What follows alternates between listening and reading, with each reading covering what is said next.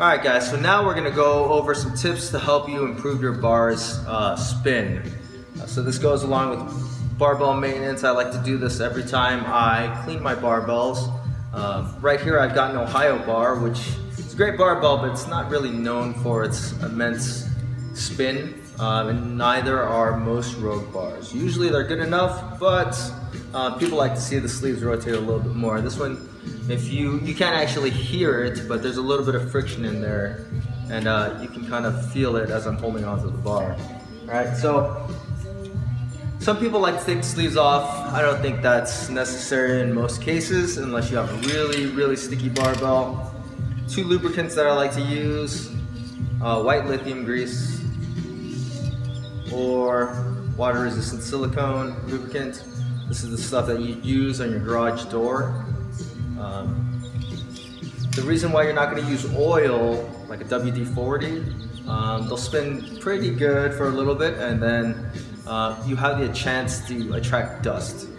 So try not to use WD-40. If you really need to, then, then go ahead and use it. I really haven't seen any bars get really sticky by using WD-40. Uh, so I'm gonna use the silicone lubricant. This varies a little bit more, or a little bit than the white lithium grease in that it's a little bit more liquid-like. So I'm just gonna spray it right into that bushing. Be careful how much you spray. Just kind of rotate it as you go along. Just kind of let it rotate. Rotate in there. Let it coat that bushing. So there's two bushings, there's one here and there's one here. Uh, we're just gonna attack this one for now.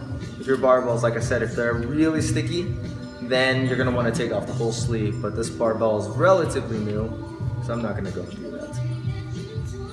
All right, so here's the sleeve that I just sprayed with that silicone lubricant. Make sure you have a rag handy because the silicone lubricant, like I said, is a little bit more liquid-like. Um, just gonna give it a spin. So it spins a little bit better, um, not a huge difference, but it does feel a lot smoother. So with me holding on to the bar, I can actually feel that it's just, there's less friction in there. And that's always a good thing. So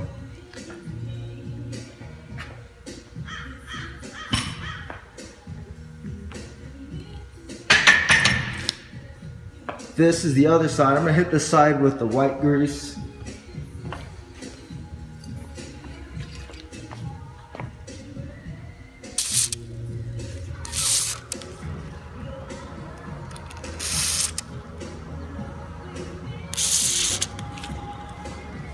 Get it in there, spin it around, let it work itself in there. So this is a little bit more gel-like. It's a little bit thicker than the silicone lubricant. It's gonna leave like a white residue.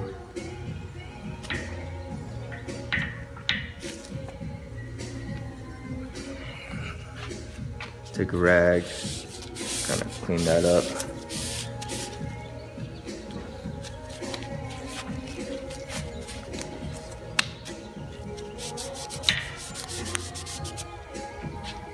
All right, so let's check that out.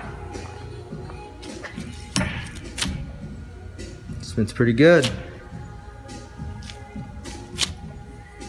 Much smoother, a little bit better. And that's all you really need to do take care of your bars as far as the spin goes. Um, just stay on top of it. If you live in drier conditions, then the lubricant will probably dry out a little bit faster. So you're gonna have to stay on top of it more. Um, but that's all you need to do. Don't worry about taking off the sleeve. That will probably end up voiding your warranty anyways. So just spray a little bit of white lithium grease or some silicone lubricant in it. You'll be all right. Anyways, thanks for watching guys.